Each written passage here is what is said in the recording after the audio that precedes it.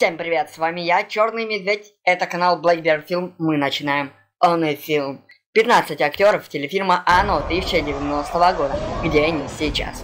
Впервые роман Стивена Кинга «Оно» был адаптирован Томми Ли Уоллисом в 1090 году в формате двухсерийного мини-сериала. Режиссеру действительно удалось снять страшный телефильм, да и с актерским составом он не прогадал. Спустя 27 лет историю «Оно» взялся по-новому рассказать Андрес Мускетти. Пока новый фильм начинает бить рекорды в прокате, предлагаю узнать, программу как сложилась судьба актеров фильм описании. экранизации. 15 место. Деннис Кристофер, Эдди Касбрак. Деннис Кристофер проснулся знаменитым после выхода комедии «Уходя в отрыв». В 1979 году тогда он получил премию Бафта в номинации «Самый многообещающий дебютант». Затем американский актер снялся в таких успешных картинах, как «Уход в черное», «Падение», «Огненные колесницы». После телефильма «Оно» карьера Кристофера не сбавляет оборотов. Так, в 2012 году актер снялся в фильме «Джанго. Освобожденный». 14 место. Гарри Андерсон, Ричи Тозер. До съемок в «Оно» Гарри Андерсон гастролировал с программой фокусника-иллюзиониста и несколько раз появлялся в популярных шоу. После ужастика он остался в киноиндустрии, начал писать сценарии и продюсировать проекты.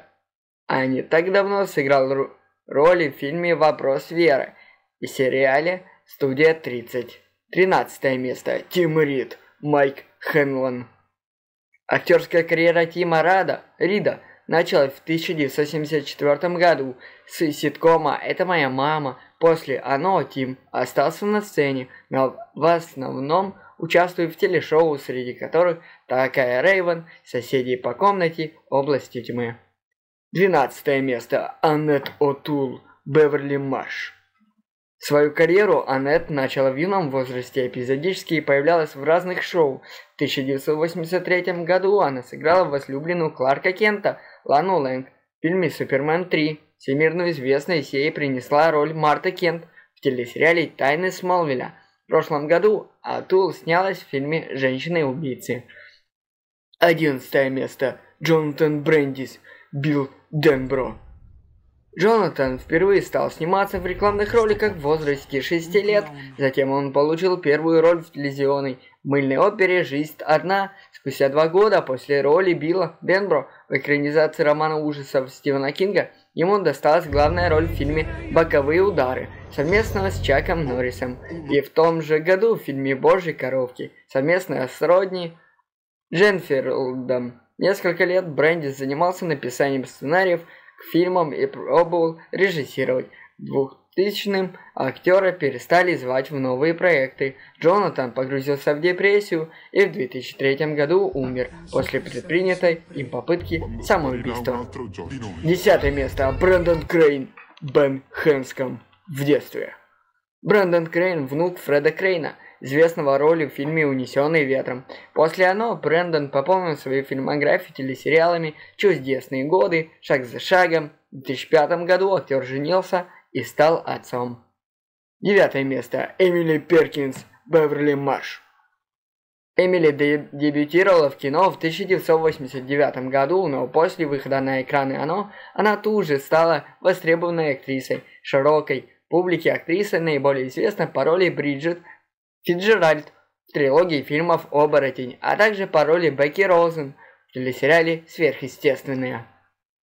Восьмое место. Челлен Симмонс, Лориан Винтербаркер. Челлен было всего 8 лет, когда ее пригласили на роль Лори Энн Винтенбаргер. Став постарше, девушка сыграла в таких известных фильмах, как «Кэрри», «Подземная ловушка», «Пункт назначения 3», «Удачи», «Чак», «Убойные каникулы». Седьмое место. Оливия Хасси, Одра Денбро. Актерский дебют Хасси состоялся еще в де- 1965 году.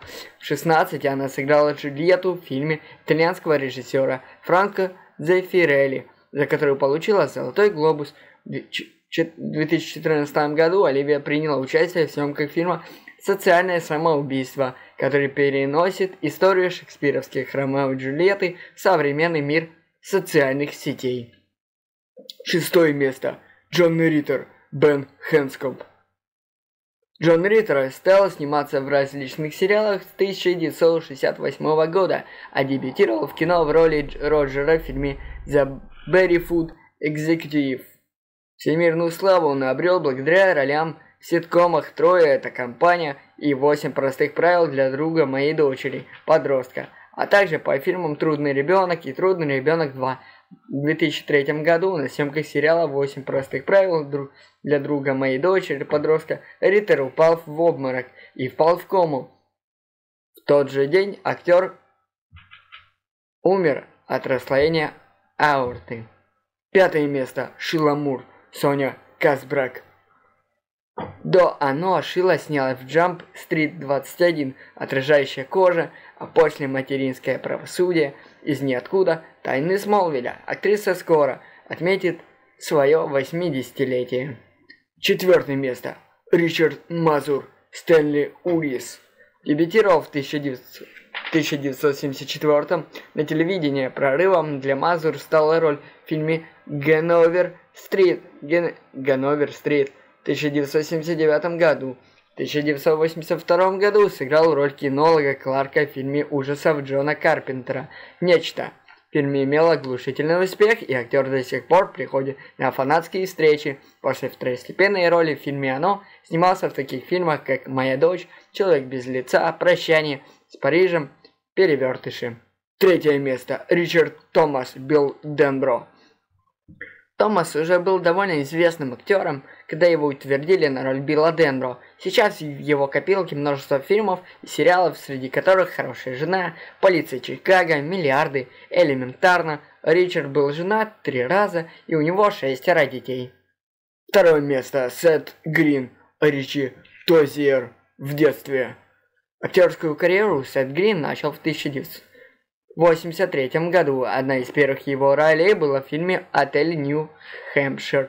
В 1987 году он сыграл в фильме Вуди Аллена «Дни радио», а в, 90... в 1990 исполнил роль маленького Ричарда Тозера в телефильме «Оно». В 2005 году Грин создал мультсериал «Робоцип». Первое место Тим Карри, Пеннивайз, «Оно».